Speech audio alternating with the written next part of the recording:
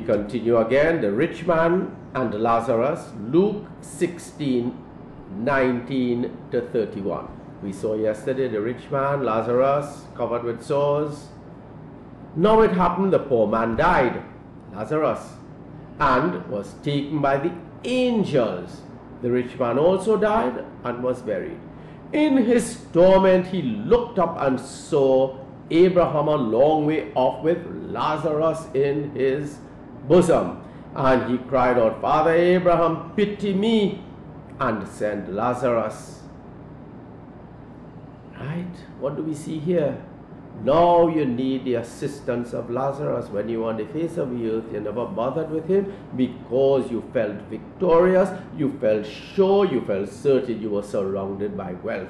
Now you are in H E L L, surrounded by torment, and you're now begging Lazarus to render assistance. And what we are told remember your time on the face of the earth, good things came to you, ugly things came to Lazarus, and we are told in verse 26 that is not all. Between us and you, there is a great gulf fixing us. We can't oh, move. So even if I want to come down, I can't come down. You cannot come up either. So let us be mindful of that.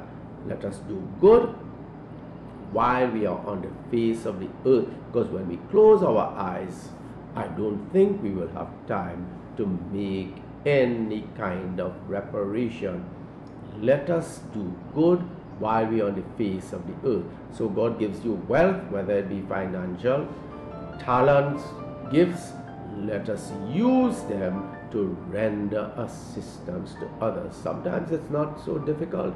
Right, you're eating your food, just throw the little sandwich by the Lazarus, get it. You don't have to write. But no, not even that you allowed Lazarus to get.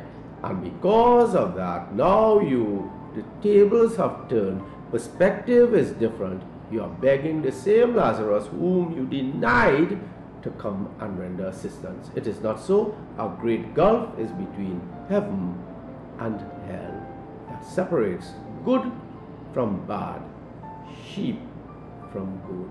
Dear friends, let us try to aim for the best, treat others with dignity, care, and concern while we are on the face of the earth.